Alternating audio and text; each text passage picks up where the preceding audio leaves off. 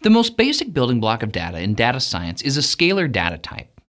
Scalar data types store a single unit of data. This can be a letter, a number, a date, a time, or something else. We refer to them as scalar data types because a scalar variable in mathematics can hold one and only one value at a time. Scalar data types are the most basic unit of storage for data in a computer. Everything from a small text document to a giant distributed database are composed of these single units of storage.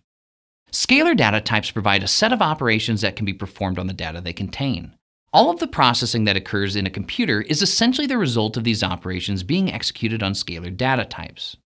There are several scalar data types commonly used across various computers, programming languages, and data science tools. The most common data types you'll encounter in data science can be divided into three main groups categorical data types, numerical data types, and temporal data types.